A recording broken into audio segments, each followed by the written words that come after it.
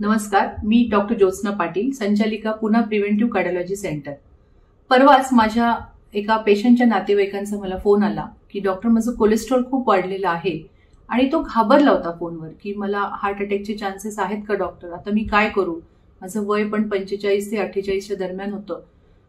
त्यानंतर मला सहजच एक विचार आला की कोलेस्ट्रॉल याबद्दल किती गैरसमज आहेत आपल्या मनामध्ये? कारण खरंच कोलेस्ट्रॉल इतकी वाईट गोष्ट आहे का? खरंच कोलेस्ट्रॉलमुळे हार्ट अटॅक येतो का? किंवा खरंच काही खाण्यापिण्याच्या चुकीच्या सवयीमुळे कोलेस्ट्रॉल वाढतं का? अशा खूपशे प्रश्न आपल्या मनामध्ये असतात. समाजामध्ये फिरत असताना बऱ्याचदा कोलेस्ट्रॉलचा एक बाऊ केला जातो. म्हणून आज मी तुमच्यासमोर आलेली आहे. सर्वप्रथम कोलेस्ट्रॉल म्हणजे काय? ही कन्सेप्ट आधी समजून घ्या.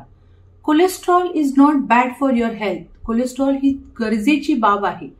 कारण आपल्या टोटल शरीरामध्ये सत्तर टक्के कोलेस्ट्रॉल हे तुमचं लिव्हर तयार करत असतं किंवा तुमचं शरीर तयार करत असतं.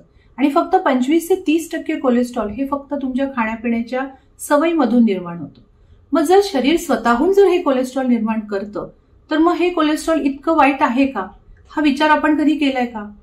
कारण एक्झॅक्टली ह्या कोलेस्ट्रॉलची गरज काय आहे शरीराला? कारण शरीर स्वतः कोलेस्ट्रॉल निर्माण करतं म्हणजे त्याची गरज शरीराला आहे. ती गरज कशी आहे? तर सर्वप्रथम ती गरज आहे ती म्हणजे तुमचे जे vitamin A D E K जे अ जीवनसत्व ड जीवनसत्व ई जीवनसत्व आणि क जीवन के जीवनसत्व याची हे सगळे फॅट सोल्युबल विटॅमिन्स आहेत. तर त्याची निर्मितीमध्ये याचा हा खूप महत्त्वाचा भाग असतो. जसं सनलाईट किंवा सूर्यकिरण आपल्या त्वचेवर पडतात. त्वचेच्या खाली कोलेस्ट्रॉल असतं. आणि त्या कोलेस्ट्रॉलच्या प्रेझेन्समध्ये तुमची त्वचा हे विटॅमिन डी निर्माण करत असतं. हेच विटॅमिन डी पुढे जाऊन तुमच्या पेशींना एक प्रकारचं ताजे तवाणपणा देणं किंवा पेशींची ज्याला आपण इंटॅक्ट ठेवणं पेशी इंटॅक्ट ठेवण्याचं काम हे जास्तीत जास्त हे विटॅमिन डी करत असतं. सायमल्टेनियसली तुमची कॅल्शियमची निर्मिती पण विटॅमिन डी मध्ये आहे. बोन डेन्सिटी डेव्हलप मेंटेन करणं पण विटॅमिन डीचं काम आहे. त्यामुळे विटॅमिन डी जर निर्माणच झालं नाही तर अगदी कॅन्सरपर्यंतचे सुद्धा आजार होतात. आणि ह्या व्हिटॅमिन डी सारखे व्हिटॅमिन्स निर्माण करायला तुमचं कोलेस्ट्रॉल हे काम करत असतं. दुसरा कोलेस्ट्रॉलचा जो हे आहे ते म्हणजे तुमच्या पेशींची भूक ज्याला म्हणतो. पेशी काय मागतात? किंवा पेशींच्या ज्या भिंती आहेत ज्याला आपण सेल मेम्ब्रेन म्हणतो त्यांची भूक दोनच प्रकारे आहे एक तर तुम्ही प्रोटीन्स घेतले पाहिजेत आणि दुसरं म्हणजे लिपिड्स घेतले पाहिजेत. म्हणजे तिथे सुद्धा तुमच्या पेशींना एक प्रकारचं नरिशमेंट देणं किंवा पेशींची भिंत ही इंटॅक्ट ठेवण्याचं काम हे तुमच्या लिपिड्स करत असतं. त्यामुळे तिथे सुद्धा तुमच्या कोलेस्ट्रॉलची गरज असते. आणि तिसरा घटक जो आहे तो म्हणजे बरेचसे हॉर्मोन्स निर्माण करण्यामध्ये कोलेस्ट्रॉलचा खूप मोठा रोल आहे. जसं टेस्टेस्टिरॉन असतील काही थायरॉइड हॉर्मोन्स असतील काही सेक्स हॉर्मोन्स असतील ह्या सगळ्याच्या निर्मितीमध्ये कोलेस्ट्रॉल हे तुम्हाला मदत करत असतं. मग इतक्या सगळ्या गोष्टी घडत असताना ह्या कोलेस्ट्रॉलला का बरं इतकं घाबरलं जातं? एक्झॅक्टली हे कोलेस्ट्रॉल हे निर्माण कसं करतं? तर सगळ्यात पहिली महत्वाची गोष्ट आहे की तुम्ही जे खाता त्याच्यातून बऱ्याचदा काही ग्लुकोज लेवल्स तयार होत असतात किंवा काही एनर्जी प्रोड्युसिंग काही सबस्टन्सेस तयार होत असतात. कारण आपण जे काही खातो त्यातल्या त्यात भारतीय लोक आपण कार्बोहायड्रेटचा इंटॅक हा जास्त इंटेक हा जास्त करत असतो. आणि एक्झॅक्टली हे कार्बोहायड्रेट्स नंतर पचनानंतर त्याच्यातून ग्लुकोजची निर्मिती होते. हे ग्लुकोज तुमच्या लिव्हरमध्ये काही अंशी म्हणजे स्टोरेज केलं जातं आणि एक्स्ट्रा जे ग्लुकोज आहे ते फॅटी सेल्समध्ये आपण स्टोअर करतो.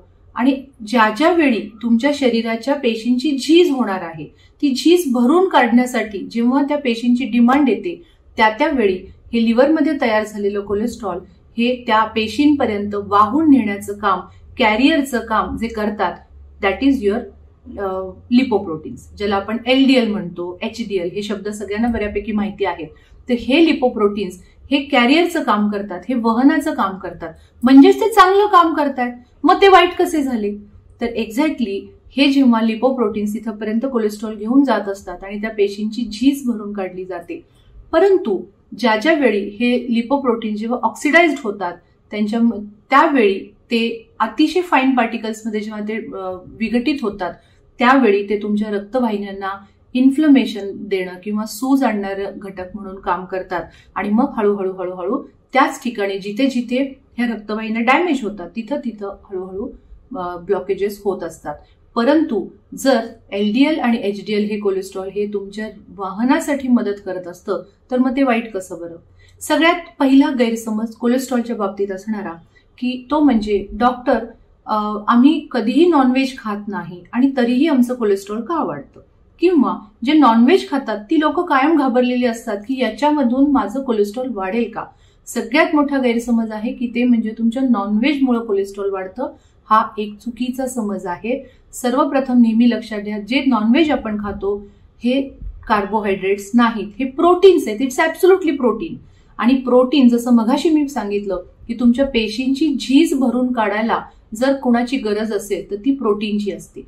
त्यामुळे हे प्रोटीन तुमच्या तुमच्या नॉनव्हेज मधून मिळत असतं. कारण एक्झॅक्टली कोलेस्ट्रॉल वाढवणारा जो घटक आहे आपल्या आहार आहारामधला तो म्हणजे तुमचे ट्रायग्लिसराईड ज्यालाच आपण पिष्टमय पदार्थ असं म्हणू. भारतीय आहार पद्धतीमध्ये आपल्यामध्ये पिष्टमय पदार्थांचा इंटेक हा जास्त आहे. कारण पिष्टमय पदार्थ मिळतात कशातून? तर सर्व प्रकारच्या धान्यामधून मिळतात. जसं आपण म्हणतो की ज्वारी आहे बाजरी आहे किंवा ज्याला आपण म्हणतो गहू आहे तांदूळ आहे यातून जास्त वाढतात. अल्टिमेटली ट्रायग्लिसराइड्स लेवल तुमच्या वाढल्या जातात. त्यामुळे ज्यांच्या ज्यांच्यामध्ये ट्रायग्लिसराइड्स वाढलेत त्यांनी कार्बोहायड्रेट डाएट जरी आपला कमी केला पिष्टमय पदार्थ खाण्यामधले जरी कमी केले तरी त्यांचे ट्रायग्लिसराइड्स लेवल्स हे कमी येत असतात. परंतु हा गैरसमज आहे आपला की कोलेस्ट्रॉल वाढवण्यासाठी फक्त नॉनव्हेज हाच कारणीभूत घटक नाही. दुसरा गैरसमज आपल्यामधला कोलेस्ट्रॉलच्या बाबतीतला तो म्हणजे तेलांच्यामुळे खाद्य तेलांच्यामुळे कोलेस्ट्रॉल वाढतो. नेहमी एक लक्षात ठेवा की कोणतंही तेल तुमच्यासाठी वाईट नाहीये. परंतु ते तेल जेव्हा तुम्ही स्मोक व्हॅल्यूला नेता जेव्हा तड तडका दिला जातो किंवा ते तळले जातात पदार्थ त्यावेळी मात्र ते तेल तुमच्यासाठी घातक ठरतं. अदरवाईज जी आपली खाद्यतेलं आहेत त्यातल्या त्यात पण मी सांगते की जी तैलबिया आपण जे म्हणतो ज्याला आपण म्हणतो बदाम असेल अक्रोड असेल तुमच्यामधलं शेंगदाणे असतील किंवा ऑलिव्ह ऑलिव्ह ऑइल असेल किंवा व्हर्जिन कोकोनट ऑइल म्हणतात ज्याला किंवा साधं सिंपल तुमचं घरी बनवलेलं तूप ह्या सर्व गोष्टी जर तुमच्या आहारामध्ये आल्या तर ते तुमचे एच डी एल कोलेस्ट्रॉल वाढवतात चांगलं कोलेस्ट्रॉल वाढवतात की जे तुमच्या पेशींची रिपेअर करण्यामध्ये तुमच्या पेशींच्या भिंतींना इंटॅक्ट ठेवण्याचं काम हे करत असतात. त्यामुळे कृपा करून हा गैरसमज आहे की तेलांमुळे तेल खाद्यतेलांमुळे कोलेस्ट्रॉल वाढतं. परंतु जर त्याच खाद्यतेलामध्ये जसं मी आता सांगितलं की घरी बनवलेलं तूप होममेड घी हे तुमच्यासाठी चांगलं आहे. परंतु त्याच तुपात तळलेली जर जिलेबी खाल्ली किंवा त्याच तुपामध्ये वेगवेगळ्या प्रकारचे तुम्ही तळून पदार्थ खाल्ले तर मात्र ते तुमच्या शरीराला घातक ठरणार आहेत. त्यामुळे खाद्य खाण्यामध्ये तुमच्या तेलांचा विविध प्रकारे वेगवेगळी तेलं तुम्ही वापरू शकता. परंतु शक्यतो ते व्हर्जिन कोकोनट ऑइल किंवा व्हर्जिन ऑलिव्ह ऑइल किंवा लाकडी घाण्याची तेलं ही जास्त तुमच्यासाठी चांगली ठरणार आहेत. आणि त्याचं प्रमाणही कमी ठेवावं किंवा त्याच्यात तळून कुठले पदार्थ खाऊ नका. तिसरा जो अतिशय मोठा गैरसमज आहे तो म्हणजे तुमच्या कोलेस्ट्रॉलमुळे हार्ट अटॅक येतात. जर तसं बघायला गेलं जर डाटा रिसर्च आता इतके रिसर्चेस आलेले आहेत तर त्या रिसर्चेसमध्ये समजून येतं की साठ टक्के जे हार्ट अटॅक आलेली जी लोक आहेत त्यातली साठ टक्के लोक आहेत की ज्यांच्यामध्ये नॉर्मल कोलेस्ट्रॉल असताना सुद्धा हार्ट अटॅक आलेले आहेत. कारण हार्ट अटॅक येण्यासाठी फक्त कोलेस्ट्रॉल हे कारणीभूत घटक नाही. जसं मगाशी मी सांगितलं की जे कॅरी करणारं जे एल डी एल वगैरे आहे ते एल डी एल कधी तुमच्यामध्ये होतं की जेव्हा ते ऑक्सिडाइज्ड होतं. म्हणून आपण अँटीऑक्सिडाईज ड्रग देत असतो किंवा शरीराचं ऑक्सिडेशन थांबवण्यासाठी बऱ्याच काही गोष्टी आमच्या डॉक्टरांकडून सांगितल्या जातात. म्हणजेच काय? की जेव्हा हे घटक ऑक्सिडाइज होणार आहेत तेव्हाच विघटित होणार आहेत तेव्हाच त्यांच्यामध्ये इन्फ्लमेशन होऊन मग तुमच्या रक्तवाहिन्यांना सूज येते आणि तिथून ती सुरुवात होऊ शकते. त्यामुळे त्याला आपण एक सायलेंट कॉज म्हणू. It's not a absolute cause okay आता सगळ्यात महत्त्वाचा घटक आहे की हे एलडीएल एक्झॅक्टली किती पाहिजे डॉक्टर एचडीएल किती पाहिजे? ट्रायग्लिसराइड्स किती पाहिजे तर साधारण ट्रायग्लिसराइड्स हे दीडशेच्या खाली हवेत. तुमचे एलडीएल लेवल हे शंभरच्या खाली हवेत. आणि एच डी एल लेवल ज्याला गुड कोलेस्ट्रॉल म्हणतो हे कंपल्सरी तुमचे पन्नासच्या पुढे हवे आहेत. असं जर असेल तर ते तुमच्यामध्ये प्रिव्हेंटिव्ह मेकॅनिझम म्हणून चांगलं काम करत असतात.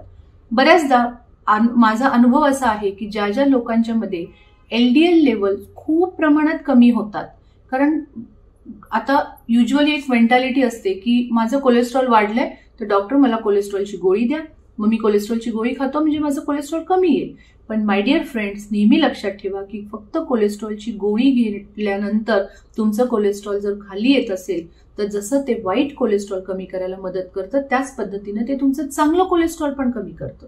आणि जर खूप कमी प्रमाणात जर हे तुमचे अगदी सिंपल वे जर तुमचं एल डी एल खूप प्रमाणात जर कमी झालं तर तुमच्यामध्ये बऱ्याचदा काही सेक्शुअल डिझीज निर्माण होतात. फॉर एक्झाम्पल जसं की तुमच्या शरीरामध्ये नपुंसकता येणं किंवा सेक्शुअल कॅपॅसिटी कमी येणं यासारखे आजार होतात.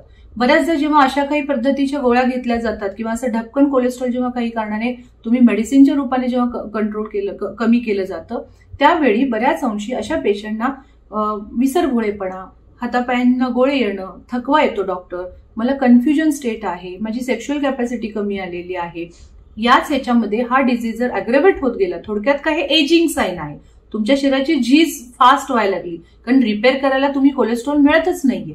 मग ही जर झीज अशी वाढत गेली तर पुढे जाऊन कोलोनिक कॅन्सर ब्रेस्ट कॅन्सर विविध प्रकारचे कॅन्सर्स होणं किंवा गॅस्ट्रिक ट्रबल ज्याला आपण म्हणतो की पित्त नेहमी नेहमी गॅस्ट्रिक पेन होतं मला ऍसिडिटी जास्त वाढते माझं पोट फुलल्यासारखं असतं गॅसेस होतात कॉन्स्टिपेशन पोट साफ होत नाही किंवा काही ज्याला आपण हशी मोटो सिंड्रोम्स वगैरे म्हणतो थायरॉइड लेवलच्या थायरॉइड फंक्शन तुमचे डिस्टर्ब होणं आणि सगळ्यात महत्वाचं घटक बऱ्याचदा अशा पद्धतीने जर कोलेस्ट्रॉल कमी केलं गेलं तर तुम्हाला ऑटो इम्युन डिसऑर्डर्स सुद्धा होऊ शकतात.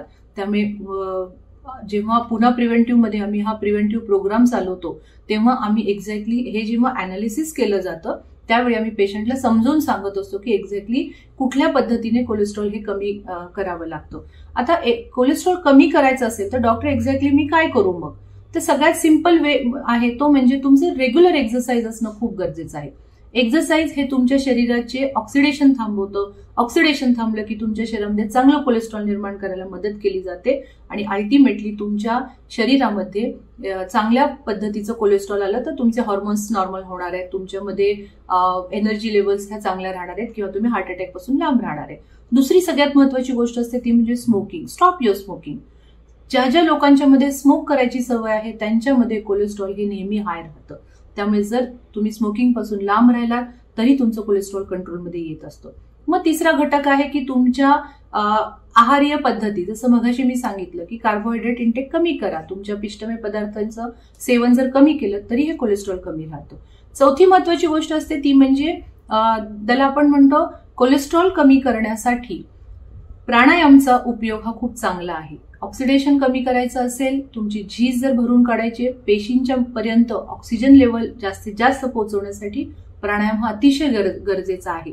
त्यामुळे योग प्राणायाम कार्डिओ रेस्पिरेटरी एक्झरसाईज म्हणजे ज्याला आपण धावणं म्हणतो सूर्यनमस्कार वॉकिंग ब्रिस्क वॉकिंग किंवा सायकलिंग पोहणं यासारख्या व्यायामाने तुम्ही तुमचं कोलेस्ट्रॉल कंट्रोल ठेवू शकता.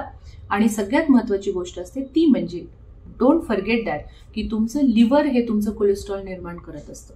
त्यामुळे बऱ्याचदा आम्ही जेव्हा आमचा प्रिव्हेंटिव्ह प्रोग्राम्स राबवतो त्यावेळी मी लिपिड प्रोफाईल सोबत कंपल्सरी लिव्हर फंक्शन करून घेते. ज्या ज्या वेळी मी लिव्हर फंक्शन करायला सांगते त्यावेळी पेशंट मला विचार म्हणतो की डॉक्टर मी अल्कोहोलिक नाहीये मी ड्रिंक्स घेत नाहीये आणि मग तुम्ही मला का लिव्हर फंक्शन हे करता?